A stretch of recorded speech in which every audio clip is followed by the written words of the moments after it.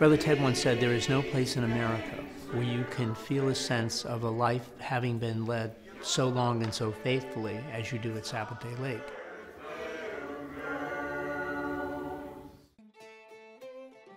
Furniture, music, communal living.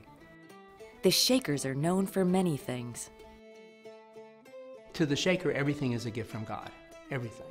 Whatever we're doing, that's, that's a gift. And we try to labor on that gift uh, to bring it forth into a perfection. Rumors of the Shakers' demise have been spreading for more than 150 years. However, the village at Sabbathday Lake is very much alive, sustained by farming and a flourishing herb business. And while their numbers have dwindled, Shakers still reside here. They welcome visitors, eager to share the pastoral beauty of their historic home as they themselves go about their daily rounds. Hands to work and hearts to God. We labor for a gift of God. And Father James said, even my every breath is a prayer to God.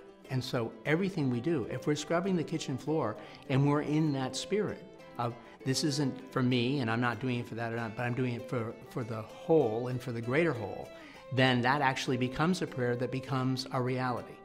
And that was, the, that was one of the great geniuses of Mother, is that she lifted up physical labor to a place where it was spiritual. So we don't look down on labor. Everybody in the community has always labored. I don't care how august and supreme you are, you spent your day working. Hands to work, hearts to God. Notice Mother says hands to work first before she says hearts to God, because you have to have something to provide. So that's what we strive for each and every day of our lives. Founded in 1783, Sabbathday Lake is the oldest religious community in the United States. Nestled in the rolling New Gloucester Hills, amidst fields and orchards, there's a sense of unity and simplicity here, the core of Shaker theology. Because Shakers are very practical people. So it is, um, as Brother Ted used to say, we are to make life as little hellish for each other as possible. And so we strive to do good deeds and um, to make, make Christ visible and real to people. We touched on what we like to call the three C's, uh, which is celibacy, uh, in imitation of the life of Christ.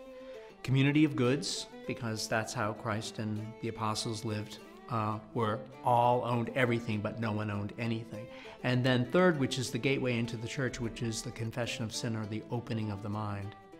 And uh, that's something that happens before you join, and then it happens all during your life. And it's a way of keeping communication open. Shakerism teaches that God is love, and it's one's duty to express that love in daily life. From the beginning, Shakers believed in the equality of men and women, and of all races. A radical concept in the 18th century, it still challenges many in the present day. While Shaker meetings have evolved beyond the exuberant movement and dance that earned them their name, singing is still very much a part of their worship. Tis a gift to be simple. Tis a gift to be free. Tis a gift to come down where we ought to be. And when we find ourselves in the place just right, twill be in the valley of love and delight. We're very proud of that. And I remember one time someone said to me, So I suppose the gift song, uh, Simple Gifts, is your one fame too?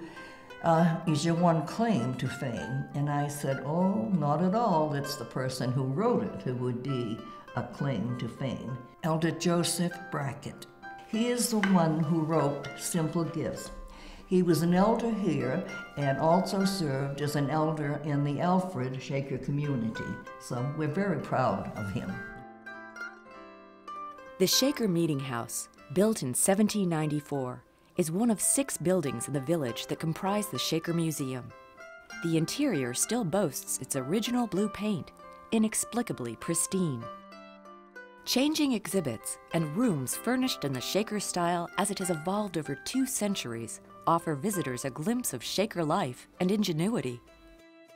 While the name has become synonymous with furniture, the flat broom, circular saw, and washing machine are all Shaker inventions. And there are many more. Shaker handicrafts are also legendary. Poplarware boxes, baskets, and pincushions were made by the women at Sabbathday Lake, along with horsehair sieves, hand dipped chocolates, and clothing. These and other items were sold to guests at the Poland Spring Hotel and elsewhere. Commerce that sustained the community in lean times. The community was insular, but our goods and services had to be flowing out of here or we couldn't survive. So you always had brothers in particular who were going on sales routes. Well, then, when the Sisters Fancy Goods take over in the 1860s, it's the sisters who were going out and being the salespeople all over New England. And they had a lot of friends from Poland Spring who were rather wealthy people. And they would entertain them down here. And you have to adapt. You have to adapt or you'll die. The Sabbathday Lake Shaker Village is a National Historic Landmark, as well as a living history museum.